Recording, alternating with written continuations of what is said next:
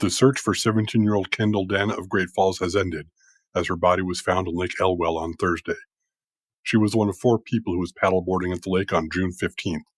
As they were crossing the lake, the weather got bad, resulting in waves up to five feet high and winds gusting to 40 miles per hour.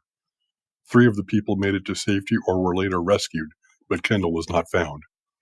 Search and rescue teams spent weeks combing the lake for Kendall.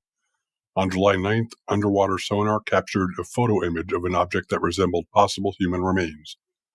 On Thursday, it was confirmed to be the body of Kendall, and her remains have now been recovered.